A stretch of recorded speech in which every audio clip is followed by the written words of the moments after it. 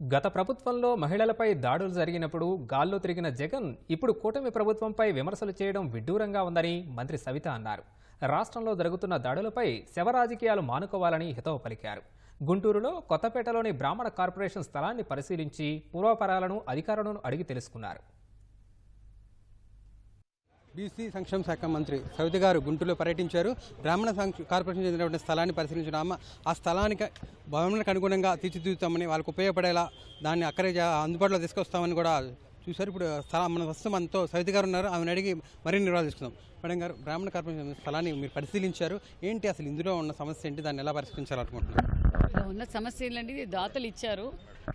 ఆ దాతలు ఏ లక్ష్యంతో అయితే ఇచ్చారో ఆ లక్ష్యాన్ని నెరవేర్చాలనేది మా సంకల్పం. గతంలో బ్రాహ్మణులను గౌరవించిన ప్రభుత్వం తెలుగుదేశం ప్రభుత్వం అదేవిధంగా గత ఐదు సంవత్సరాలుగా బ్రాహ్మణులు కూడా మోసం చేసిన వైసీపీ ప్రభుత్వం చూసాం. గతంలో అయితే ఏవైతే మేము సంక్షేమ పథకాలు ఇచ్చామో మరికొన్ని ఏ విధంగా అయితే బ్రాహ్మణులకు ఏ విధంగా అయితే ఇంకా ఏ సంక్షేమ పథకాలు అవసరమో రివ్యూ చేసాం అధికారులతో.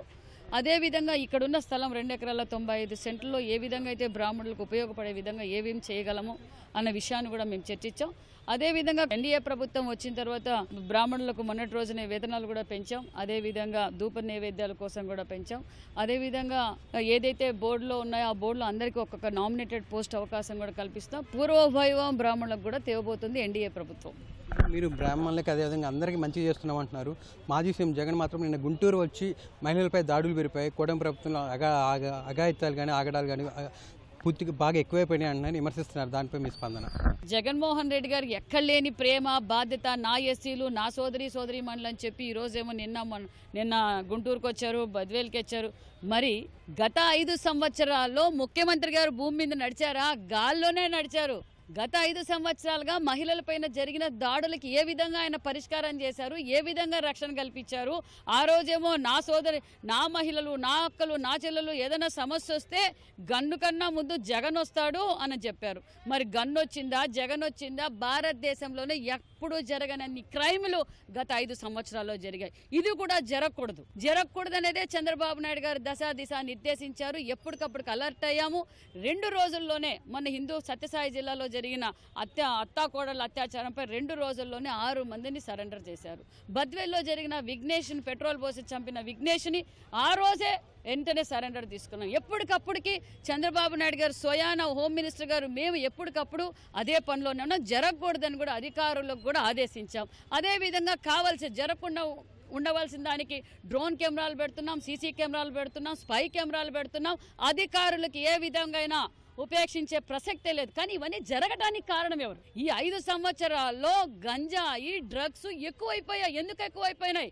జగన్మోహన్ రెడ్డి గారి ప్రభుత్వంలో మాఫియాలో ఈ అరాచకాలు ఈ వ్యాపారమే డబ్బు దోచుకోవడం దాచుకోవడం వల్లే ఇవన్నీ జరిగాయి.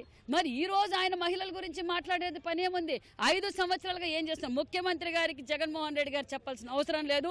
చంద్రబాబు నాయుడు గారు అహర్నిశలు మహిళలకు మహిళా పక్షపాతి అహర్నిశలు. రాష్ట్రానికి ఏం చేయాలి? మహిళల్ని ఏ విధంగా రక్షించుకోవాలి? మహిళలు ఏ విధంగా గౌరవంగా చూసుకోవాలో ముఖ్యమంత్రి గారికి తెలుసు. రాష్ట్ర ప్రజలందరికీ తెలిసిన విషయాన్ని కూడా తెలియజేస్తున్నాం. ఫస్ట్ ఆయన ఇంట్లో తల్లిని చెల్లిని న్యాయం చేయమనండి ఫస్ట్. ఏమైంది ఐదు సంవత్సరాలుగా? ఐదు సంవత్సరాలు మేము రాష్ట్రపతి గారికి కూడా తీసుకెళ్ళాం. ఐదేళ్ళుగా మహిళలపై అత్యాచారాలు దాడులు ఎక్కువ జరిగాయి అని రాష్ట్రపతి గారికి జగన్మోహన్ రెడ్డి గారి చరిత్ర తీసుకెళ్ళి రాష్ట్రపతి గారికి ఇచ్చాం. నాలుగు నెలల్లో మా పరిపాలన ఎలా ఉందో ప్రజలందరికీ తెలుసు. మళ్ళీ ఈ జగన్మోహన్ రెడ్డి గారికి తన ఉనికిని చాటుకోవడం కోసం ఈ రోజు ప్రజల్లోకి వెళ్తున్నారు. మన ఐదు సంవత్సరాలుగా ఏ దగ్గ- ఎవరి దగ్గరికి పోయి పరామర్శ ఇచ్చారు ఎవరికి ఎక్స్ప్రెస్ ఇచ్చారు? మేము ఒక్కొక్క కుటుంబానికి పది లక్షలు ఎక్స్ప్రెస్ ఇచ్చాం ఉద్యోగం ఇచ్చాం. ఆ పిల్లలకు చదువు కూడా మిగతా వాళ్ళ తమ్ముడికి చదువు కూడా మేమే చూసుకుంటాం ప్రభుత్వమే చూసుకుంటుందని కూడా ముఖ్యమంత్రి గారు ప్రకటించారు. వైకాపాలో ఉన్నదే కొద్దిమంది నాయకులు. వాళ్ళు కూడా పార్టీని వీడుతున్నారు. ఇటీవలే మహిళా కమిషన్ చైర్మన్ పనిచేసిన వాసిరెడ్డి పద్మా గారు కూడా అంటే మహిళలందరూ కూడా వీడుతున్నారు. దీన్ని ఎలా చూడొచ్చు మరి దయాలు వేదాలు అందించినట్లే కదండి. మరి ఈ రోజు జగన్మోహన్ రెడ్డి గారు చేసే అరాచకం అంతా జగన్మోహన్ రెడ్డి గారి ప్రభుత్వంలో జరిగింది. మరి ఈ రోజు ఏం చేస్తారు మరి వీడక? మరి ఆయనేమో ఈ రోజు నీతి వాక్యాలు మాట్లాడుతున్నారు. డెబ్బై నాలుగు మంది అత్యాచారాలు జరిగాయి అన్నారు. ఎక్కడ డెబ్బై నాలుగు మంది? తీసుకురమ్మనండి చర్చకు చేయడానికి సిద్ధంగా ఉన్నాం. ఫస్ట్ ఊకెళ్ళాడు బాబాయ్. ఊకెళ్ళాడు బాబాయ్. డ్రైవర్ని చంపి వాళ్ళ ఇంటికే పార్సల్ పంపించిన ఎమ్మెల్సీని ఏం చేసావు? మరి ఇవంతా క్రైమ్ పెరగటానికి ఎవరు ముఖ్య కారణం? మరి జగన్మోహన్ రెడ్డి గారు కదా. అది తెలుసుకొని ఇంక ఇది ఇక్కడ ఉంటే మన నైతిక విలువలు కూడా పోతాయని చెప్పి ఆ మహిళలు బయటకు వస్తున్నారు. గత ఐదు సంవత్సరాలు ఆయన ఏం చేశారు?